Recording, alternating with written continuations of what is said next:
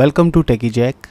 In this video we will see how to configure download domains in Exchange Server 2019 to protect from the vulnerability CVE 2021-1730. Before proceeding, let's know what is CVE 2021. CVE 2021-1730 is a spoofing vulnerability that exists in Exchange Server 2016 and 19 and this could result in attack that can allow a malicious actor to impersonate the user.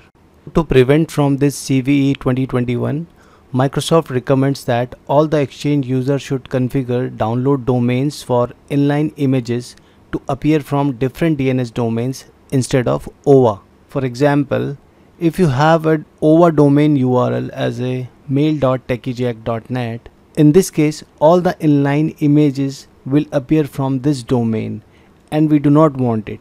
We want it to be set for the different domain that is attachment.mail.techiejack.net. So we want if anybody inspect the images on the Outlook on the web, it should not show our OWA domain that is mail.techiejack.net. Instead of that, we want it to show as attachment.mail.techiejack.net. One thing to note here is that this effect will only appear on the Outlook on the web. It has no impact on the mobile devices or the Microsoft Outlook desktop application. So let's proceed further to configure the download domains. So right now we are on our server.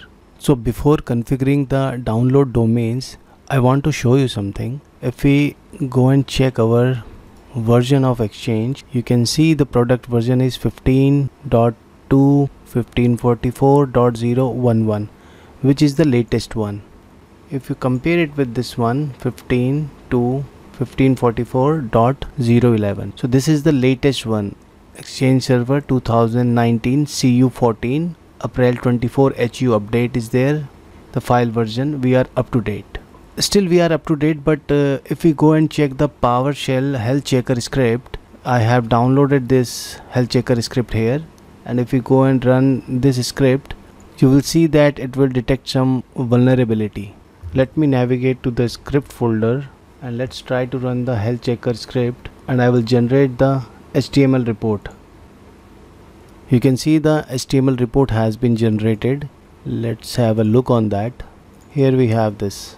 So if we go and scroll down for the security vulnerability here you can see let me maximize it you can see the security vulnerability and it says download domains are not configured. You should configure them to protect against CVE 2021-1730 though we are updated we are on the latest CU and latest security update but still we have this security vulnerability there so we have to fix that. So let me close this.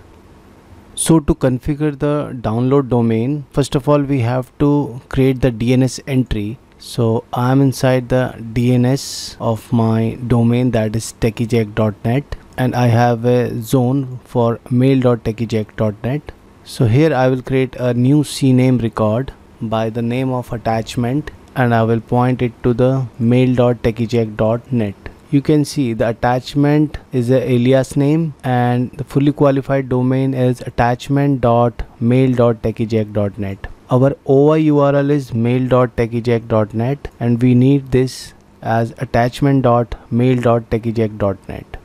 So this is the record you have to create inside the internal DNS zone. We are creating this because we want our inline images on the Outlook web access appears to be downloaded from this URL that is attachment.mail.techiejack.net. We want to pretend on the OWA that the image is downloading from this URL that attachment.mail.techiejack.net instead of our OWA URL. The same thing we have to do on our public domain as well. So if you see the screen here, I have created this attachment.mail as a CNAME to my mail.techiejack.net on the public domain as well. So let's go back. Apart from this, you also need this domain name on your certificate as well. So I will show you in the details. If we go and scroll for the subject alternative names here you can see we have a mail.techiejack.net auto-discover and attachment.mail.techiejack.net so this url should be there on your ssl certificate. So let me close it. So after configuring the DNS record and the certificate, we have to add the domain to our OWA virtual directory. So let's try to set the OWA virtual directory for our download host name. So let me open the Exchange Management Shell. And if we check for this get OWA virtual directory for the download host name, if we check this, right now you can see it says like default website and there is no external download hostname and internal download hostname configured so we have to configure that in order to configure the internal url we will run the following commandlet like set OWA virtual directory identity exchange the name of the exchange server OWA and the default website internal download hostname is attachment.mail.techiejack.net it is set now so let's go and do it for the external domain as well. And we have the same name like attachment.mail.techiejack.net it seems to be done. So let's now confirm it again. Now you can see the external download host name is attachment.mail.techiejack.net and same for the internal download hostname is also there. So now we have to enable the download domains. So we will run this following command set organization config enable download domains true. Let me hit enter and it is set. After doing that we have to restart the IIS service.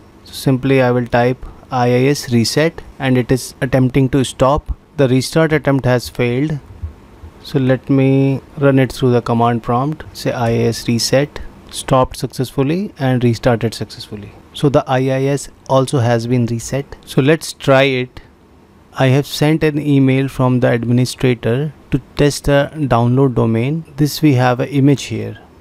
So if we inspect it and here you can see the image original SRC and you can find the SRC is equals to https attachment.mail.techiejack.net this is the thing what we want like we want the image to be appear as from this domain like attachment.mail.techiejack.net instead of our OWA URL that is mail.techiejack.net. So we have successfully configured our download domains because our image is loading from the attachment.mail.techiejack.net. By configuring the download domains, you can protect your exchange from CVE 2021-1730 vulnerability.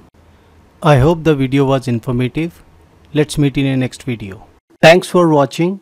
If you enjoy this video and want to see more, don't forget to subscribe and ring the bell icon to get notified whenever I post new content.